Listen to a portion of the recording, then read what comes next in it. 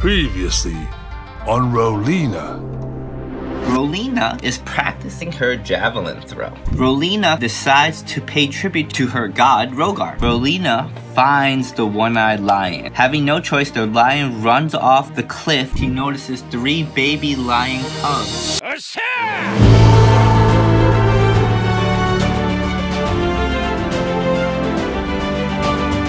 Unable to leave the cubs helpless, Rolyna decides to make pumpkin soup for the cubs.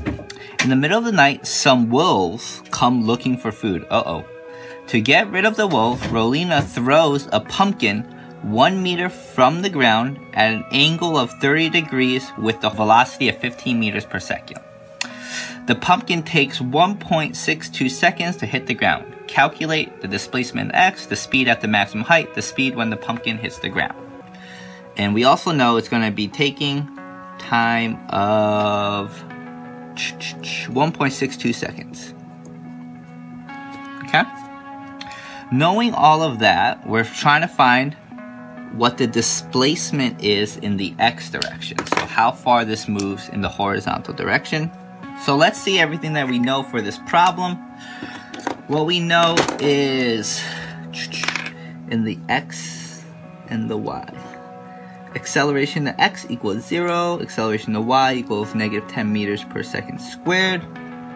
We know that this pumpkin is going to eventually be falling down 1 meter from where it started.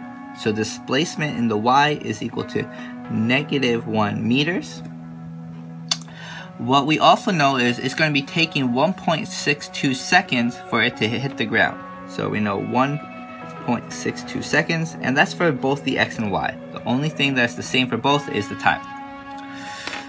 So this is where it gets a little bit different. With angled problems, when something is thrown at an angle, what we need to do is we need to break it up into its x and y components. So we need to find what the velocity is in the y direction that it was thrown with and the velocity in the x.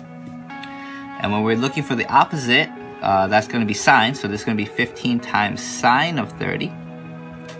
And for the x, since this is adjacent, this is going to be 15 times cosine of 30. So let's put this into our calculators. 15 times cosine of 30, we get 12.99 meters per second. 15 times sine of 30, and this is going to be 7.5 meters per second. So we can also put that here. Velocity initial in the y is going to equal 7.5 meters per second, and velocity initial in the x is going to equal 12.99 meters per second. So now what we have is we have three pieces of information in the x, and we're looking for the displacement, so we have all that we need. Look at our formula sheet, and we see that this formula here has all four of the variables that we need. So displacement in the x equals vxt plus 1 half axt squared. Displacement the x is what we're looking for. vx is equal to 12.99. Time is 1.62 and all of this turns to zero because acceleration is zero. Put this into our calculators and we get that displacement is 21.04 meters. Okay, so that's how far that the pumpkins get thrown. So pretty, she has a, Rolyna has a pretty good arm. Next, what is the speed at the maximum height? So this gets thrown, the maximum height, let's say is around here.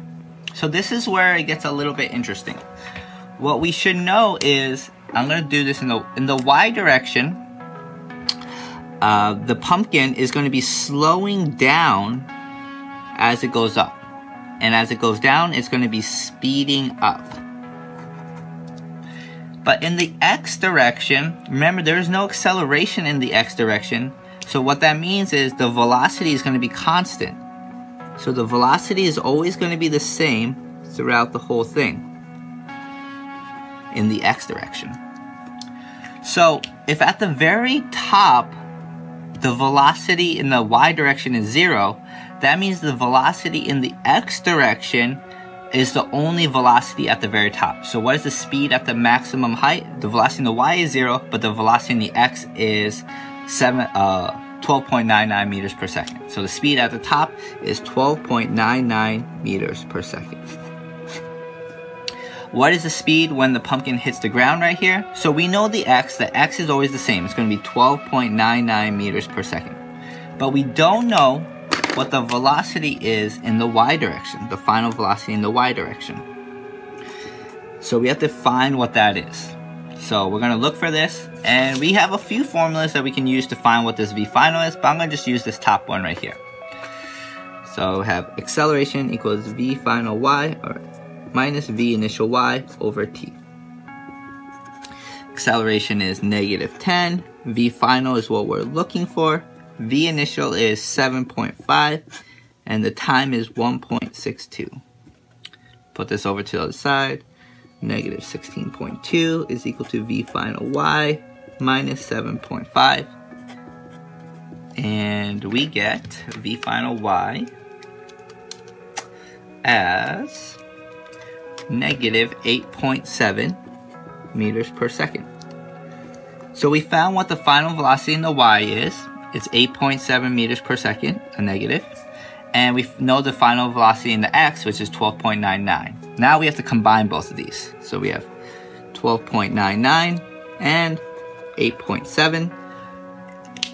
And the final speed it hits the ground is going to be the combination of both of these. So we're going to use Pythagorean theorem to figure this out. the speed is going to be equal to 12.99 squared plus 8.7 squared and the square root of that. And this is going to give us 15.63 meters per second. Okay? But the real question is, what did the wolves do after this?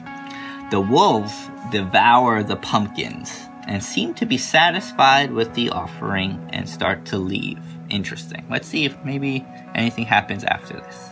All right, thank you guys.